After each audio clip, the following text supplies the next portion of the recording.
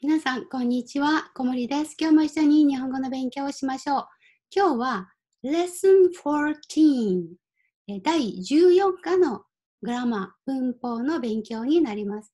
では始めていきましょう。14課では、まず、あの動詞のグループ分けの勉強をします。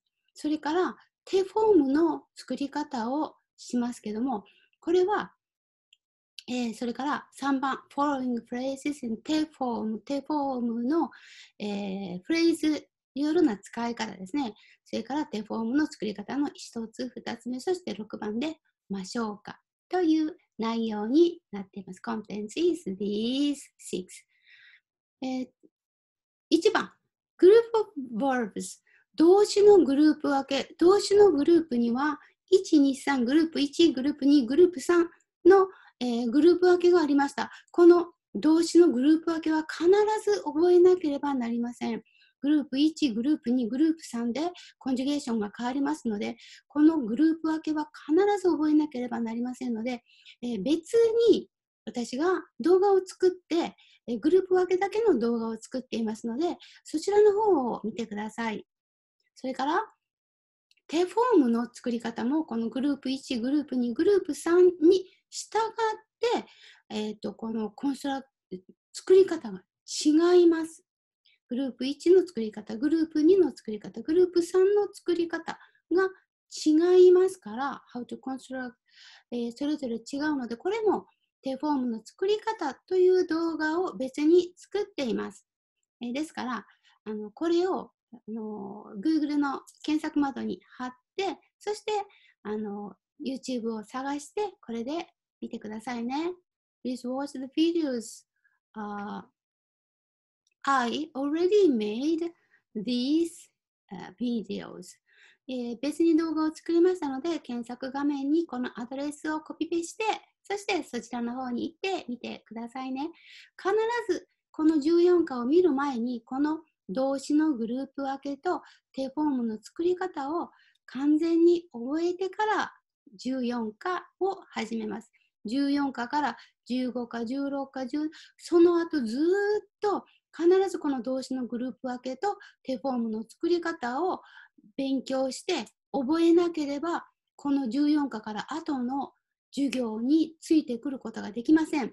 ですから必ずこれを見てしっかり覚えてください。そしてこの14課から一緒に勉強をしていきたいと思います。では14課、もう見たことにしてね、14課の勉強を始めます。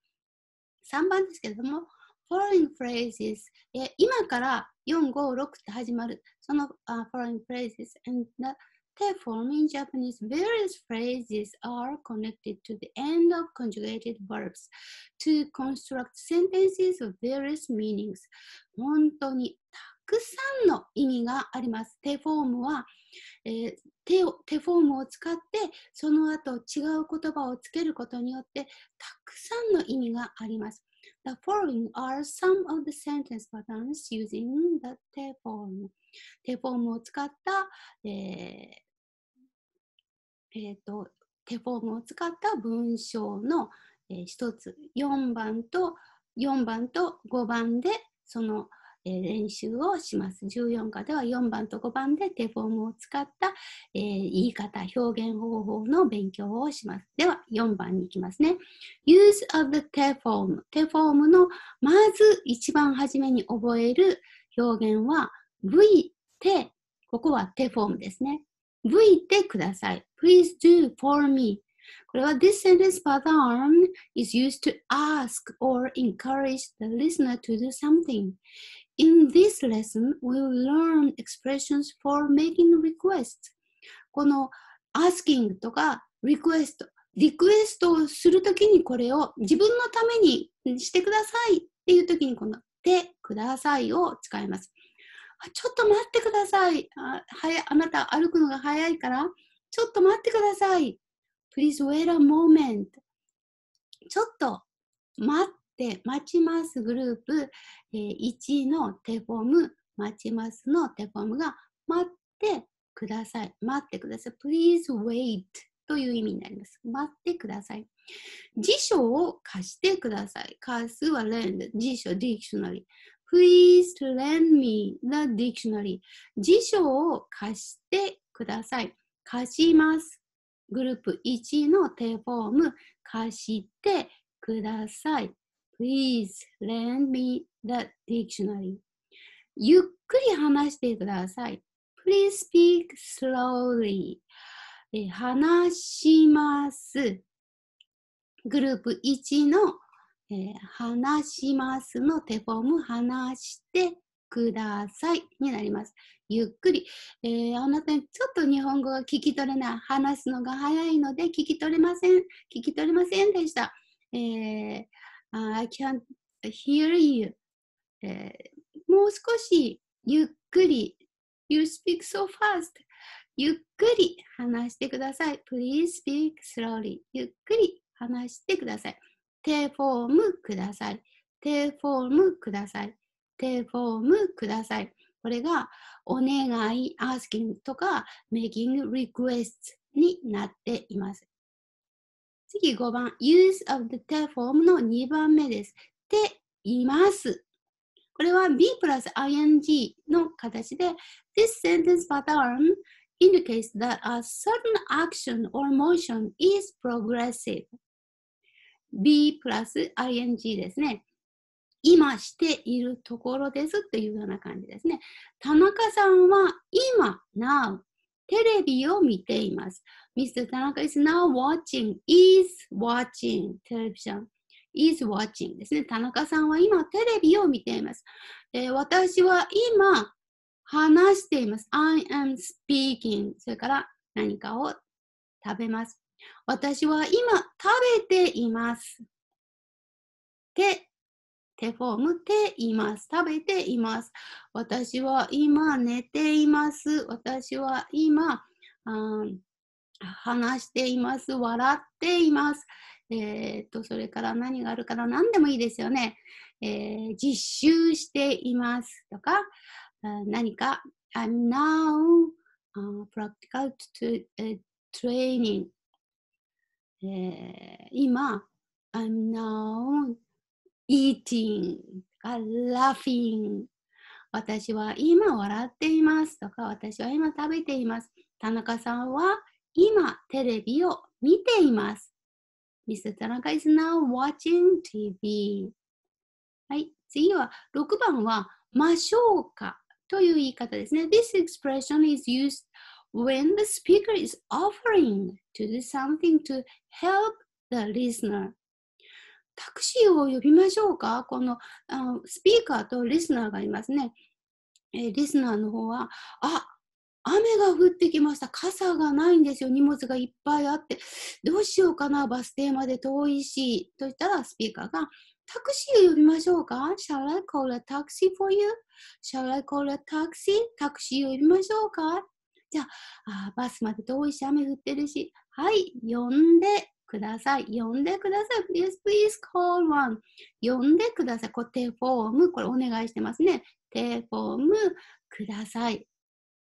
4番ですね。呼んでください。Yes, please call one.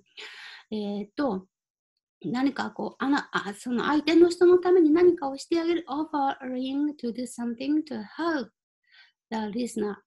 えー、タクシー呼びましょうか、えー、ちょっとお腹が痛くなってきたので、ちょっと、えー、どうしようかな。今から、えバスに乗って帰るのはちょっとしんどいな。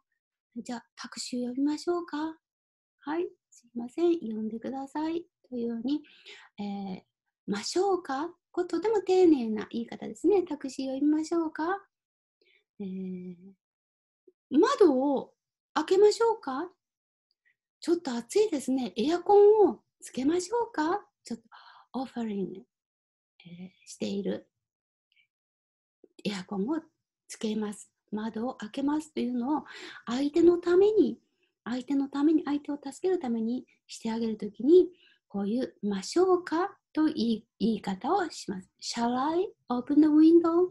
窓を開けましょうか ?Shall I put on the aircon or light? 電気をつけましょうか？ましょうか？というふうに、相手のために何かしてあげるときにはそう言ってくださいね。そしたら、言われた方は、はい、つけてください。はい、開けてください。手フォームで答えます。お願いをします。はい、電気をつけてください。エアコンをつけてください。えー、つけて手フォームください。窓を開けて、オープン。開けて、手フォーム開けてください。というふうに答えます。えー、14課では、えー、このグループ分けと、それから手フォームの作り方が一番大事ですから、えー、それをまず勉強して、そして4、5、6の練習をしてみてくださいね。まとめです。グループ of verbs 動詞のグループ分け。ぜひこれを見てください。それから手フォームの作り方。ぜひこれを見てくださいね。そして手フォームの作り方、以下の作り方、いろいろな作り方がありますよ。えー、こちらの方は、えー、手ください。こちらの方は、えー、何だったかな？手います。B プラス ing っています。これ asking and requesting ですね。こちらはています。now eating and now 何々 ing watching ですね。ています。この2つをまず14課では使い方を覚えてください。そして、ましょうかという言い方もぜひ覚えてくださいね。では、今日の、え今日の14課のグラマーの勉強はこれで終わります。今日も小丸の授業を聞いてくださってありがとうございました。今日の授業も役に立ったな、面白かったなと思ってくださったいいねマーク押してくださいね。そしてまたこの授業を聞きたいときには登録の方もよろしくお願いします。Please subscribe. ではまた次回の動画でお会いしましょう。さようなら。